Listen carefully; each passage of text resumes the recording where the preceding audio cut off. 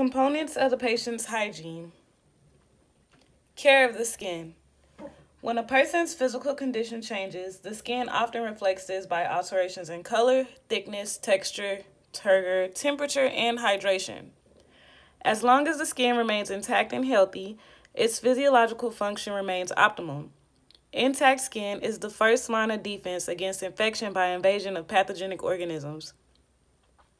Data collection. Determine the condition of the patient's skin by observing its color, texture, thickness, turgor, temperature, and hydration. Be certain to use ample lighting. Natural or halogen lighting is suggested. Normal skin has the following characteristics good turgor, it's elastic and firm, generally smooth and soft, intact without abrasions, localized changes in texture across surface. Skin color variations from body part to body part, warm and moist. Pressure ulcers and pressure injuries.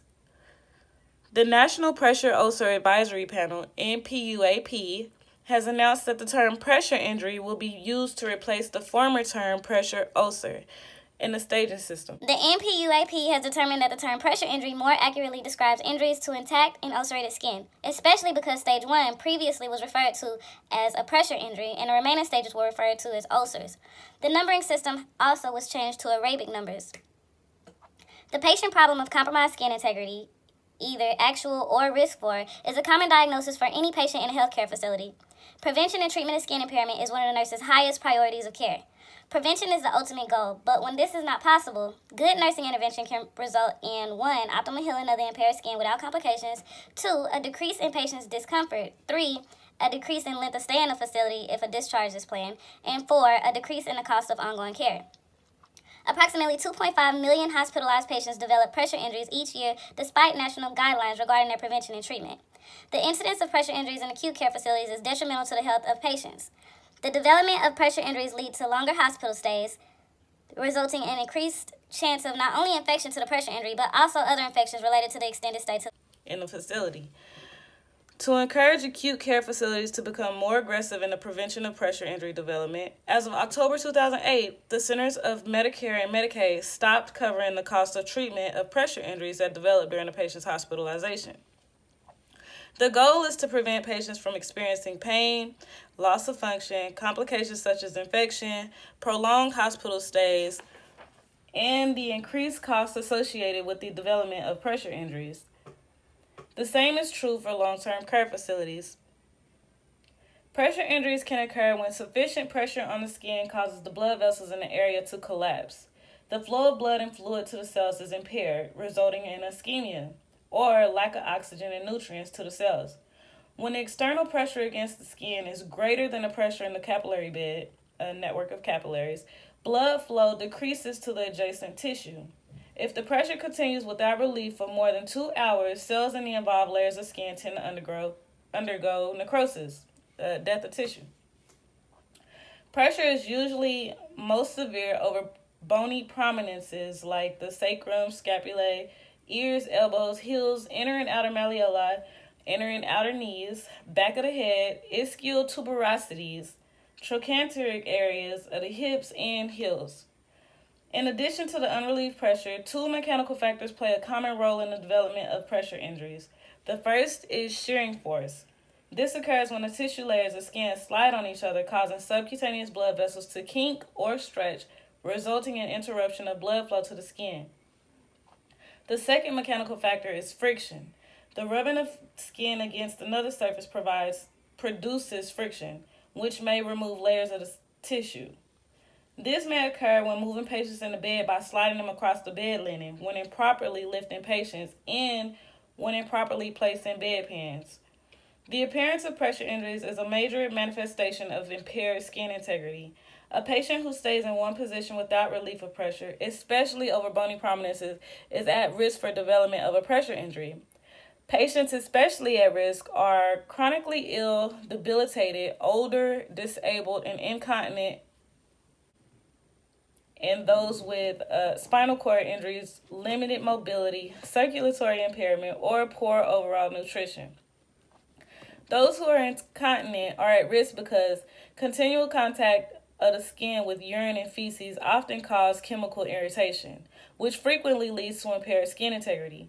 Nutritional factors play a role for those who are overweight and those who are underweight. Obesity increases the risk because fat tissue has less vascularity and re- resilience, and the added bulk and weight increase the pressure on bony prominences.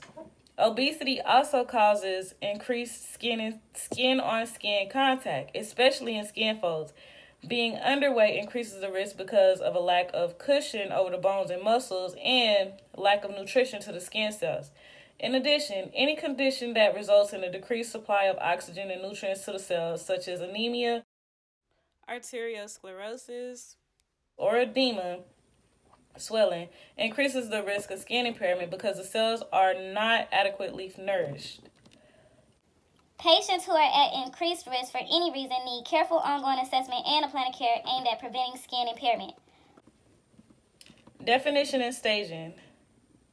The definition of a pressure injury was revised by the NPUAP in 2016. The NPUAP also added definitions to the six category staging system for pressure injuries. These definitions are for deep tissue injury, medical device pressure related injury, and mucosal membrane pressure injury. The NPUAP defines a pressure injury as localized damage to the skin and or underlying soft tissue, usually over a bony prominence or related to a medical or other device. The injury can present as intact skin or an open ulcer and may be painful. The injury occurs as a result of intense and or prolonged pressure or pressure in combination with shear. The tolerance of soft tissue for pressure and shear may also be affected by microclimate, nutrition, perfusion, comorbidities, and condition of the soft tissue. Assess any reports from the UAP regarding potential or actual skin integrity issues. If reddened areas are found, assess the area by noting any blanching of the area. By, by gently pressing on the reddened area with the gloved finger. If the area does not blanch when pressure is applied, injury to the tissue is likely. Document and report such findings to the healthcare provider. If actual skin impairment has occurred already, measure and document the area according to facility protocol and report the findings to a healthcare provider. The following sections summarize the revised stages of pressure injury development during according to the NPUAP 2016.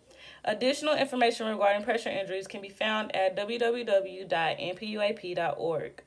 Stage 1. A stage 1 pressure injury is a localized area of skin, typically over a bony prominence, that is intact with non blanchable redness. Skin with darker tones may not have visible blanching, but its color is likely to differ from the surrounding area. The wound characteristics vary. Areas may be painful, firm, soft, warm, or cool compared with adjacent tissue. This stage is typically difficult to detect in patients with dark skin tones. Stage 2. A stage 2 pressure injury involves partial thickness loss of dermis. It appears as a shallow open injury, usually shiny or dry, with a red pink wound bed without slough or bruising. Bruising raises the suspicion of deep tissue injury. Some stage 2 injuries manifest as intact or open, ruptured, serum filled blisters. Do not use the term stage 2 to describe skin tears, tape burns, perineal dermatitis, maceration, or excoriation. Stage 3. A stage 3 pressure injury involves full thickness tissue loss in which subcutaneous fat is sometimes visible, but bone, tendon, and muscle are not exposed. If slough is present, it does not obscure the depth of tissue loss.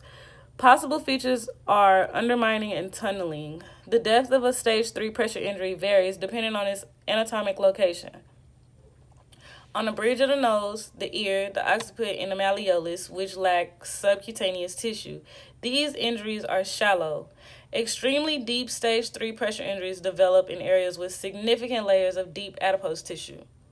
Stage 4. A stage 4 pressure injury involves full thickness loss with exposed bone, tendon, cartilage, or muscle.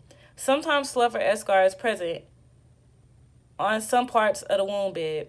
The injury often includes undermining or tunneling. As with stage 3 pressure injuries, stage 4 pressure injuries vary in depth depending on their location because these injuries extend into muscle and supportive structures. The patient is at risk for osteomyelitis. Unstageable or unclassified. An unstageable pressure injury